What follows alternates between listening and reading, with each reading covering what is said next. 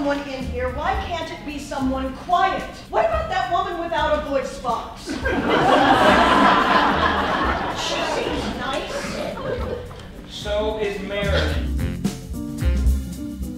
What if I took your bet? I bet. If I win, will you go? Where I try to scare you? You can do that, then you win. Unless I make you angry first, then you win. Nice and simple. Verdade!